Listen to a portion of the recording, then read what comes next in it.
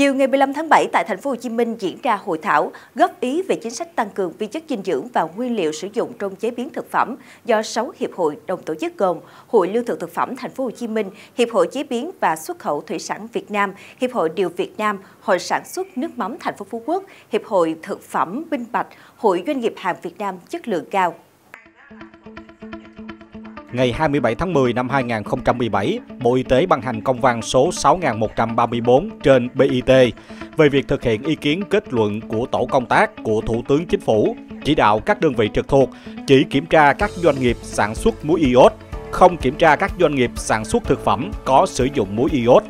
Tuy nhiên, về cơ bản, công văn số 6134 chỉ tháo gỡ cho doanh nghiệp ngành thực phẩm ở khâu kiểm tra, còn bản chất quy phạm pháp luật của Nghị định 09 vẫn còn nguyên, chưa giải quyết được những khó khăn bất cập mà doanh nghiệp từng ngày đối mặt. Ngày 15 tháng 5 năm 2018, Chính phủ ban hành nghị quyết số 19-2018 trên NQCP nêu rõ Bộ Y tế nghiên cứu, sửa đổi, bổ sung Nghị định 09 trên 2016 theo hướng bãi bỏ quy định muối dùng trong chế biến thực phẩm phải được tăng cường iốt tại điểm A khoảng 1 điều 6, bãi bỏ quy định bột mì dùng trong chế biến thực phẩm phải được tăng cường sắt và kẽm tại điểm B khoảng 1 điều 6.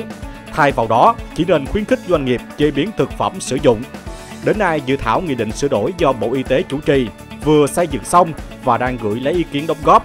Tuy nhiên, dự thảo này vẫn chưa đề cập việc sửa đổi điều 6 khoảng 1 Nghị định 09 quy định về sử dụng muối iốt và bột mì trong chế biến thực phẩm như Nghị quyết 19 đã nêu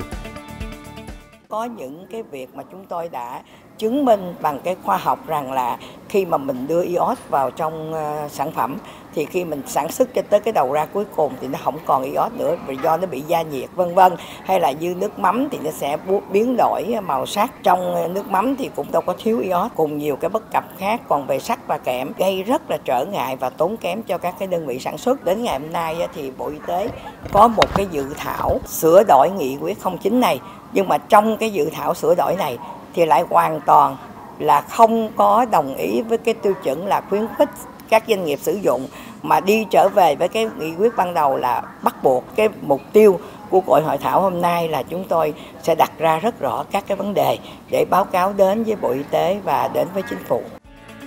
Tại hội thảo, các chuyên gia và hiệp hội phản ánh những khó khăn bất cập mà doanh nghiệp gặp phải trong việc tuân thủ Nghị định 09, từ đó đóng góp ý kiến về dự thảo Nghị định sửa đổi Nghị định 09, đưa ra các khuyến nghị chính sách hợp lý và thực tiễn tới Bộ Y tế nhằm điều chỉnh dự thảo Nghị định sửa đổi Nghị định 09 theo hướng hợp lý, phù hợp thực tiễn và thông lệ quốc tế.